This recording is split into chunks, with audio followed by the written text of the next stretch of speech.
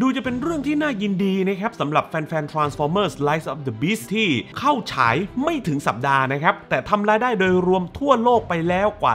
34 ล้านดอลลาร์สหรัฐ ซึ่ง 34 ล้านดอลลาร์สหรัฐเนี่ยยังเป็นตัวเลขที่ไม่นิ่งนะครับ เพราะว่าในประเทศไทยเนี่ย Transformers Rise of the Beast นะครับผมได้ดูก่อนในอเมริกานะครับคือวันที่ 7 ส่วนในอเมริกาเนี่ยเพิ่งเข้าฉายได้แค่ 3 วันเท่านั้น ในขณะที่ Spider-Man Across the Spider-Verse ภายในสัปดาห์แรกทำรายได้ไปกว่า 120 ล้านเหรียญดอลลาร์สหรัฐ ถือว่าเป็นนิมิตหมายที่ดีนะครับสำหรับ Transformers ที่ทาง Paramount Skydance และ Hasbro นะครับจับมือ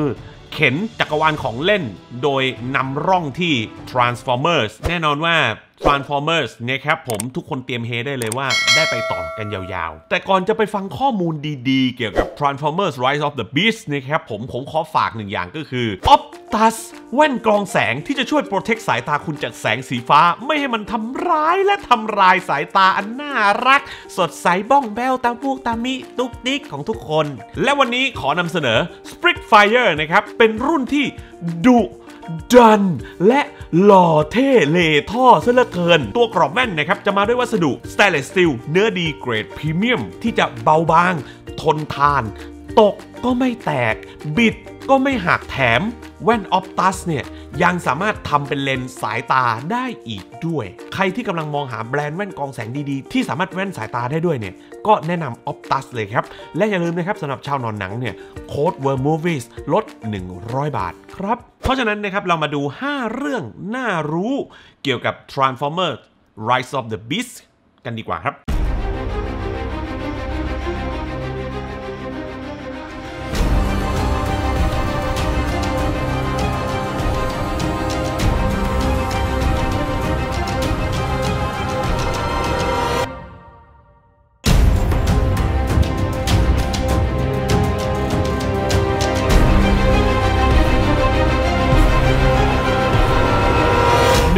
Transformers Rise of the Beast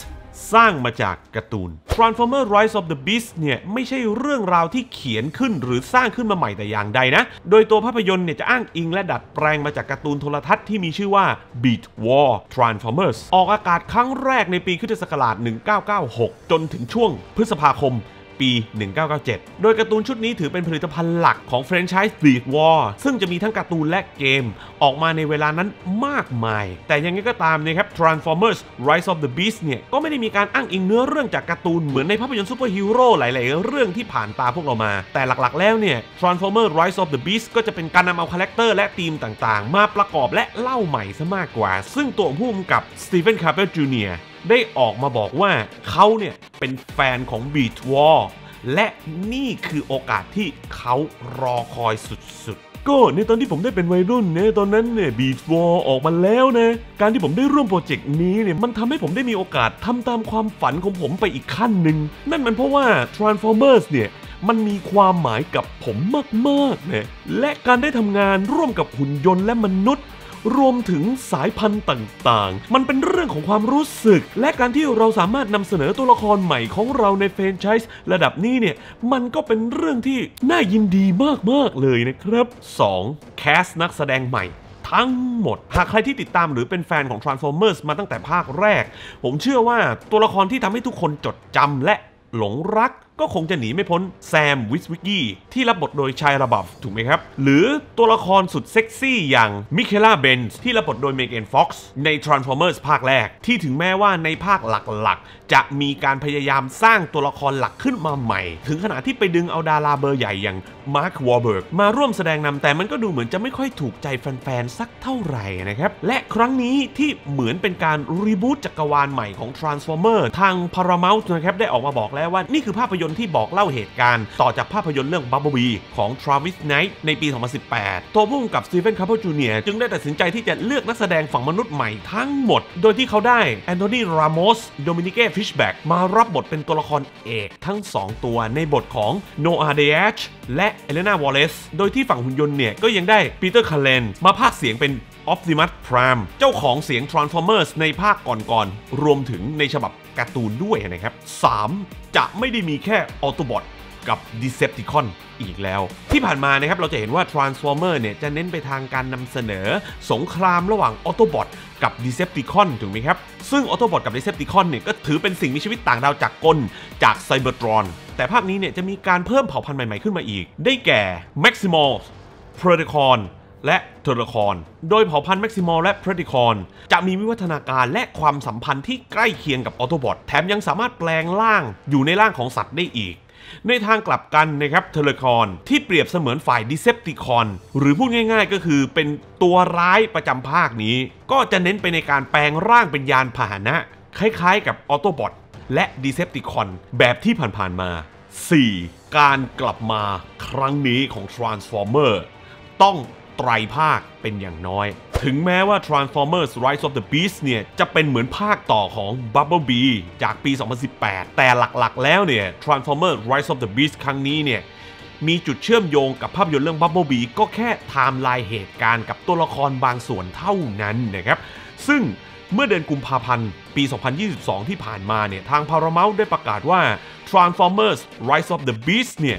จะเป็นเหมือนภาคแรกของไตรภาค Rise of the Beast ตามแผนเดิมที่ทางค่ายได้วางเอาไว้ ถึงแม้ว่าจะไม่ได้มีข้อมูลใหม่ๆ ออกมาเกี่ยวกับภาคต่อทั้งสองภาค หรือข้อมูลเกี่ยวกับโครงเรื่องอื่นๆ แต่แฟนๆ ของเฟรนไชส์ Transformer ก็สามารถสบายใจได้นะครับว่า อย่างน้อยๆ เนี่ย เราจะมีภาพยนตร์ Transformers อีกอย่างต่ำสองภาคด้วยกัน 5. ยังคงเคารพความรู้สึก ของแฟนๆ ที่ผ่านมาผมเชื่อว่าตัวละครที่รักและเป็นที่ชื่นชอบของแฟนทั้งภาพยนตร์และการ์ตูน ในฝั่งของหุ่นยนต์นะครับ คงหนีไปไม่พ้นตัวละครหลักๆนะครับที่เป็นเหมือนพระเอกของเรื่องอย่าง Optimus Prime ผู้ซึ่งเปรียบเสมือน Dominic Toretto แห่งจักรวาล Transformer และถึงแม้ว่าภาคนี้เนี่ยจะมีการนำเสนอตัวละครใหม่ที่มีเอกลักษณ์ที่น่าสนใจมากขึ้น แต่ตัวผู้กำกับ Steven Caple Jr.ก็ยังคงยืนยันว่าไม่ว่าจะยังไงก็ตาม พระเอกตัวจริงของ Transformers ก็ยังคงจะเป็น Optimus Prime เพียงแต่ว่าเขาเนี่ยอยากจะนำเสนอมุมมองใหม่ๆ ที่แตกต่างออกไปของตัวละครนี้ เพราะที่ผ่านมาเนี่ยเราจะเห็นว่า Optimus Prime จะมีภาพจำเป็นผู้นำที่สมบูรณ์แบบ ตัดสินใจเด็ดขาดและแข็งแกร่ง ซึ่งตัวผู้กำกับ Steven Caple Jr.เคยให้สัมภาษณ์กับเว็บไซต์บันเทิงสายภาพยนตร์อย่าง Collider ว่า ในภาพยนตร์เรื่องนี้คุณจะได้เห็นว่าทำไมออ t ติมัสถึงรักและเชื่อใจมนุษย์ และถึงแม้ว่าเขาจะมาอยู่ที่นี่นานแล้ว แต่ไม่ว่าจะยังไง